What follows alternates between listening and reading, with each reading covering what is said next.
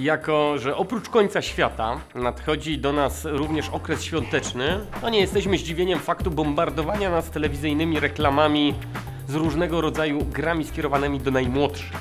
Ostatnio dość często reklamuje się produkcję pod tytułem Wonder Book Księga Czarów.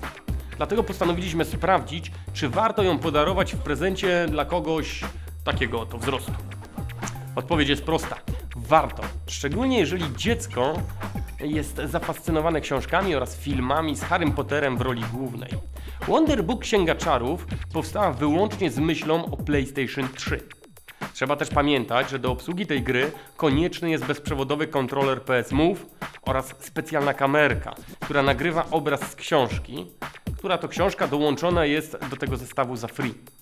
Trzeba przyznać, że jest to sporo fantów jak na jedną grę.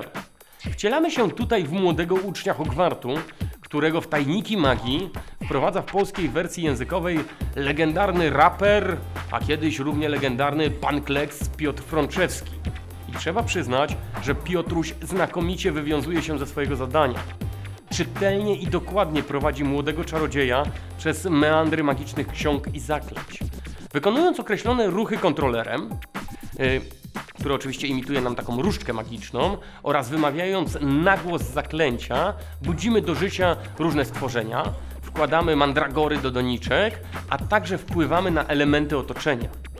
Grzegorz Bonter z Gram.pl wręcza grze całkiem niezłe 7,5 punkta na 10 możliwych, natomiast Jakub Zagalski z Imperium Gier daje 3 czarodziejskie gwiazdki na takich 5 w maksymalnej skali.